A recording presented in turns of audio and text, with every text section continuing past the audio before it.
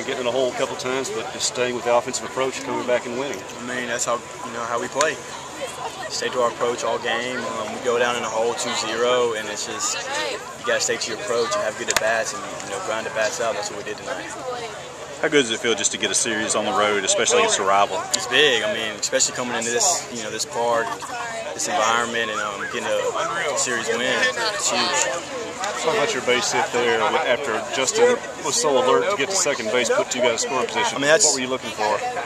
Just a pitch to hit, um, something that can do some damage but not do too much. Um, I got a good pitch and I hit it well. And, you know, two RBIs. Was, you know, Justin heads up play by him, and you know, put that on him a little bit. What's it like watching all your teammates get a bunch of hits, drawing some walks before you came up? And oh, it's awesome. I mean, it's just it just says how much you know we compete and stuff. You got guys working at bat. You know, you get down the hole. You know, 0-2 just like that, and it's a five, six pitch at bat. Um, just grinding the bats out, and it's, it's, fun to watch.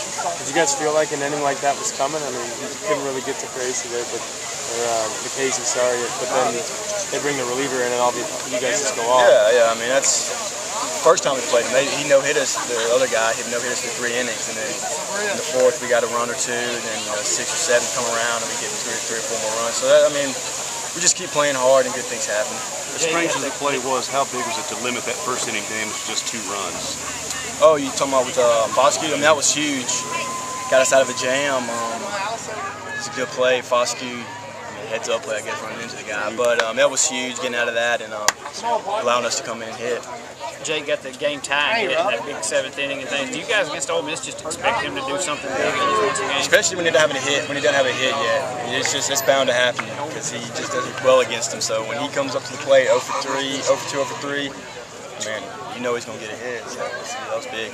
Does this team's mentality just, there, there's no situation they can't overcome? Mm -hmm. We just, like I said, you know, you come here, you play hard. Um, whether you're down 4-0, there's a lot of baseball left, um, and, and we can we can hit. So that's our mentality.